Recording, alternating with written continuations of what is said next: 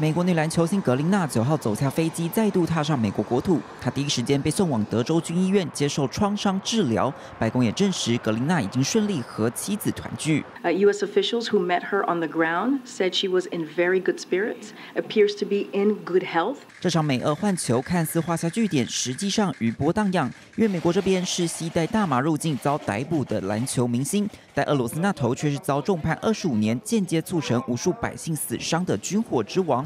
营救美国公民原本该是美事一桩，但现在白宫却被批评是让步太多。Were there any other concessions that were offered as a part of this deal? Did the U.S. give anything or get anything that has not been disclosed as a part of the deal? 另外，遭俄罗斯关押四年，美国海军陆战队退伍军人惠兰不在这次的换球名单上。不止本人表达失望，家属更是心急如焚。I think every day that goes past. I that concern grows that we are getting closer to the point where Paul won't be able to see our parents. They won't be able to see him again. 众院共和党领袖麦卡锡批评这场换球行动根本是送给俄罗斯总统普京的礼物。同一天，普京也松口表示不排除再执行换球。Мы не отказываемся от предложения этой работы.